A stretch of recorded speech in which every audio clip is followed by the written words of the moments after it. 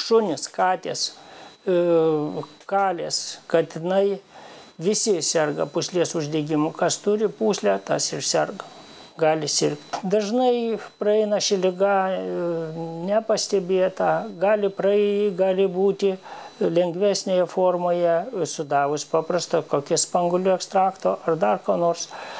Bet e, gali būti ir pasibaigti blogai, jeigu uh, šita lyga pereina į kitus aplinkinius organus, tai sakykime, inkstus, gimdą, sėklidės.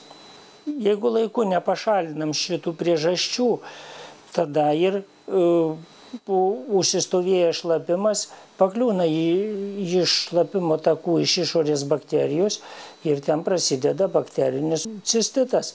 Kaip atskirti ir atkreipti dėmesį tai.